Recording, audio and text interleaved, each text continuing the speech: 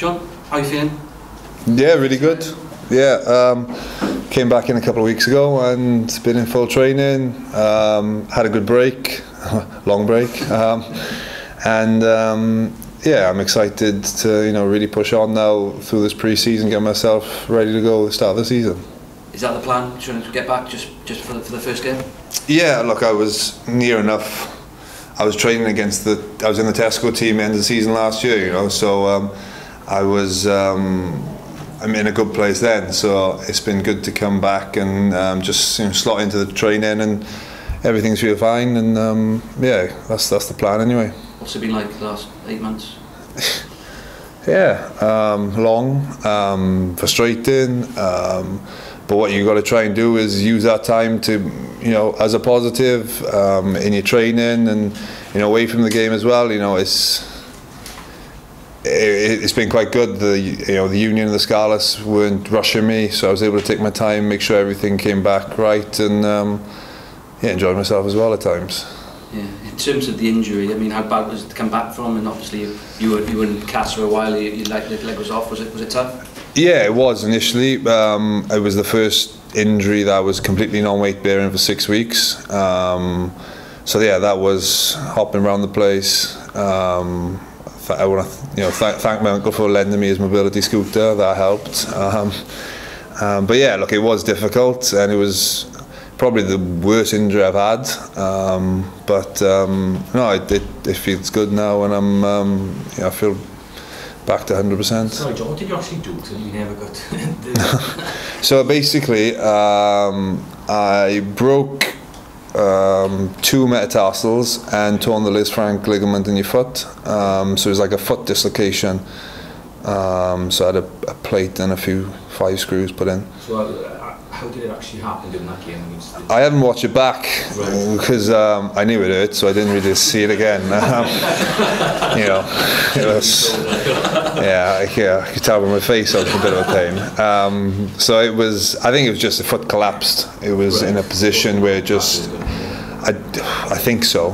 Um, yeah, it was, um, it wasn't ideal, and when it go when the clock turns red next time, I'll be booting the ball into touch. Um, but um, yeah, that's the way it is. But there and then you must have known, you know, this is a serious one. Yeah, I wasn't sure. I did my knee again as well. Um, so the physios ran on, because I got my, I bent back over it a bit. So the physio came on. You know, what's wrong? I was like foot and knee. So I was more worried about my knee initially, and then the knee was fine, and then my foot then was, um, yeah, in agony. Is that is that the reality of rugby as well. I mean, obviously, this time last year you were Lion, sort of man of the series in the draw, and a few months later playing for Wales. You out for eight months. Is that sort of reality of you know the sport as well now, didn't Uh, yeah, well, look, it, it, it's the worst side of rugby, the injuries um, and the way the, the bodies get battered these days, essentially. But um, you know, it's it's how you deal with them. And um, unfortunately, the more you get used to being injured, is having more injuries in the past. So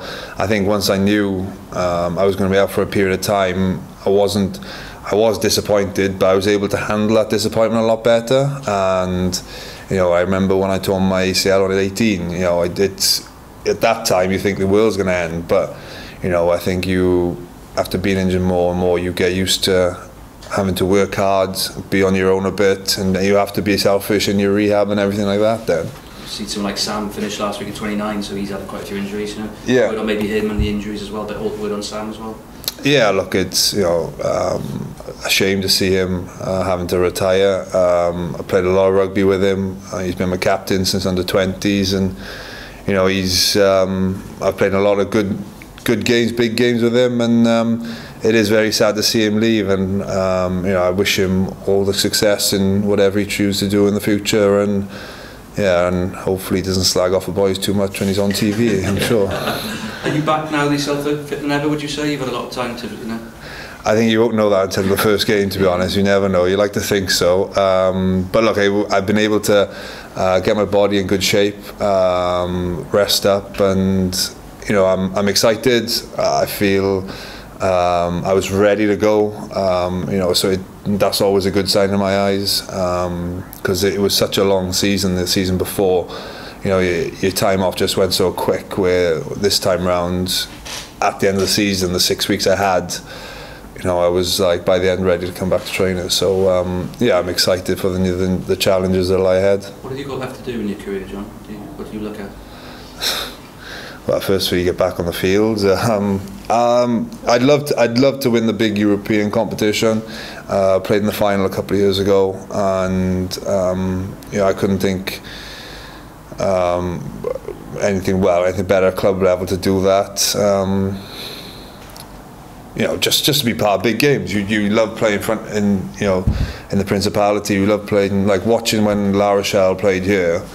I was so, that was probably one of the hardest moments because like I've never seen the place like that. You know, the pack of Scarlets was rocking and you know, it was uh, that was hard to watch, and you want to be a part of that. So whenever there's a big game, you want to be the best players, test yourself against the best players, and um, for me personally, I just want to get back to hopefully where I was um, before the injury. And there's a look for Scarlets, there's a World Cup. You missed the last one injury. You were part of a very good side in 2011. There's obviously uh, another World Cup as well. Yeah, I'd love to. Like every other, I said, like every other Welsh player wants to get to that World Cup. Um, but for me, it's um, concentration on uh, my training at the moment, making sure that um, I deliver the standards that I set before my injury, and make sure that when I get back on the field, I, you know, get my performances up to scratch, and hopefully warrant a recall into the squad then. And you know, who knows who goes, see how it goes from there because the boys who played in the centre, you know, have been done really well this year. And you're working with Wayne, he's going on to Wales. Just a, just a word on his coaching and how you think he'll do at sort of test level when he makes a step up. Yeah, I think he'd be, you know, very good. Um, good coach. I hope he could keep picking me. Um, but no, I think I, um, you know, he's been extremely successful since he's been here. He's developed a culture, a winning culture, and um, a mentality amongst us that when we go to places that we should win. Um, I think. Um, that's what you need as a coach at an international level. Um, it's making sure that the boys go into games um, in a good place, um, physically and mentally. And um, I think Wayne's been like the, you know, look at candidates. He's been stand out really since he's been here. couple of maybe fixtures, that's right. I'm just um, they're out today. You got Ulster first up. Simon Easterby's were there now. I mean, what will that be like? Ulster away first. Yeah, and what will Dwayne. that be like? Yeah, well, Simon's there and Dwayne. What will that be like? A Scarlets reunion, isn't it? Yeah, I think um, Steve will probably go out and meet Peely and Simon um, before the game. But um, look, you know, they've they've obviously got fond memories of this place, and um, you know, it'll be a test for us. And I'm sure they'll want to make sure that they get one up on us as well. You know, it's a difficult place to go. Um, um, but what we need to do now is concentrate on the next five weeks or so to make sure that you know, when the boys come in next week from international, they get up to speed, and you know, we keep going um, in a positive direction where we were at the end of last year. I think um, you look the way we were training and playing. We have to make sure that we go to that next level because um, there's a team that's setting the standard that we want to be up there with them, and I think that's um, that's the challenge that we need. Final one for me, some fixtures. No Boxing Day games this year. They've restructured a bit. There's only Saturdays either side of Christmas. Yeah. As a player, did you enjoy the Boxing Day, or there's a bit more on player welfare now this time around? Look, you loved the Boxing Day um, because you were guaranteed a full house, and um, you know it. Hopefully, the fixture and the excitement itself warrants people to come and watch on a Saturday. You know that's what it should be like anyway, not because it's on a Boxing Day. Um, and I think player welfare is is important because playing two derbies in the space of five six days is uh, extremely difficult on the body. Um, I haven't done it for a while, but um, you know it is tough, and um, like I said, I'm, I'm sure um, I'm sure the front rowers will be able to enjoy themselves a lot more come Christmas Day um, at lunchtime. So um, no, I think I think it's the right move. It is a shame that the Boxing Day does have to go, but like it player welfare is the most important thing these days. Jon, you mentioned, sorry, uh, Wayne. Does it change anything here? It hasn't so far. Um, I think it's just making sure that you know, what it puts it the Scarlets in a position that they know they've got a year to find the right man to come in and hopefully carry on and, and improve what Wayne has built in this uh, period that he's been here. So um, I don't think it changed anything. I don't think it'll change how Wayne uh, approaches his coaching. And um, yeah, I think um, I, I can't see it being an issue to be honest.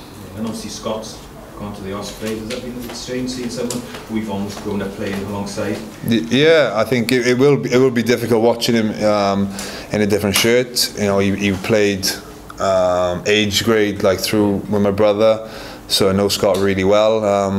But uh, that was his decision to make, and um, you know, you wish him all the best and success. Um, apart from when it comes to coming here. Yeah. You've, you've, um, you've seen your brother do really well while you've been off. What would it mean to you? He's about to get his first Wales cap. Yeah. What would it mean to you if you played in the, the same Wales side as him? Um, yeah, I think honestly, I think if we had that opportunity, it would top anything I've done in rugby. Um, but like we both understand that we have uh, each of us a lot of work to do uh, to get to that point. Um, but yeah, I think um, it, it would be an ex- a very proud day for us as a family, and um, yeah, I could, I could I couldn't think of anything better really. Done well, hasn't he, last eight months? Yeah, he's well. He's he's finally flying the uh, Davies name. You know, um, it's about time, really. Um, but no, he has. He's done extremely well, um, and he's taken his opportunity. And know, I was over the moon for him um, to get his chance, and I thought he gave a great account of himself when he was out in Argentina. Going back to the fixtures, you got Leinster second up after everything that happened last year. Is there a bit of a determination to try and get an early marker? Um, look, it'll all depend on how, um, you know, what, what lens do we see? Because traditionally, those the Irish boys have a longer pre-season and they come in slightly later. But I think it's um, important for us our first home game, um, and we've always had a proud record here. And um, you know, we want. You know, Leinster are set the benchmark. They are you know, the best team in Europe. Um, how they train, how they um, execute their plans. So, you know, we are looking up at them at the moment, and we want to reach that level. So, um, you know, any team coming to Parc y Scarlets, we want to win. But, um, you know, I'm sure that will be um, an important fixture for us. You seem to have taken your game to a, a, a new level in the sort of 18 months, two years before the Lions tour. There's obviously the culmination of that. How easy is it to get back uh, to that sort of Lion standard, shall we say? Don't know. We'll find out. I think um, uh, for me, it was what's helped. I think with this injury. Normally, when you're coming back in an injury during a season, you only have a limited time of getting yourself back up to speed and being able to not rush back for the end of last year. Um, have a full pre-season. Um, you know, I think that will help me. Um, but you know, like it all comes down to myself making sure that you know I do everything I was doing beforehand, and little things I've picked up since then. Being injured, you know, I. You, you're your own worst critic, your harshest critic, and you know I want to make sure that, you know, I want to push myself onto the next level. I want to be there where I was beforehand, and you know it's it's going to be down to my hard work and making sure that I do everything possible for the Scarlets that you know that's required of me, and um, you know that's that's probably the challenge I've set myself um, for for the first well the next few months at least. What sort of things do you look at while you're injured? What, how do you do that? Do you look back at, at old games and try and pick stuff up? Or? I think it's just for me. It's um, you know, when you when you do your rehab, when you're balancing on um, wobble balls and stuff like that, working with tennis balls, you try and use that as um, developing a skill that will help you. Yeah, your hand-eye coordination, your catching. Um, so it's just being able to use that when you when you think you're doing nothing at all. It's just making sure that you you can see a purpose to it and. Um, being able to develop those skills hopefully will work and help and um, you know it is just getting yourself in good physical condition um, so when you're on the field you're feeling that you can repeat you know repeat those runs more and more without feeling as tired so it's there's a combination of physical preparation and a skill preparation that you have to do I think and um, I've enjoyed that um, that's the part I've enjoyed being away from the game being able to get myself ready to go and hopefully set the you know the standard where I was. The summer tour, you would have been fit to go, presumably, would you? No? Just what was the what was the thought process behind the summer tour? Presumably, it was a talking point. Um, like I got injured on the Saturday, Monday. I was told I wasn't playing again this season, so that was it. They weren't. Okay. Um, so I think they were always thinking of resting the boys that went on the Lions tour like they did. Um, so there was never a rush to get me back. Um, but which was I think was a good thing for me because I knew that I had this um, set amount of time to prepare myself. So um, I think um, if I really went for it, like if there was like a World Cup to prepare for and I needed a couple of games, I probably could have. But I'm glad that I didn't have to do that and just um, get myself ready for the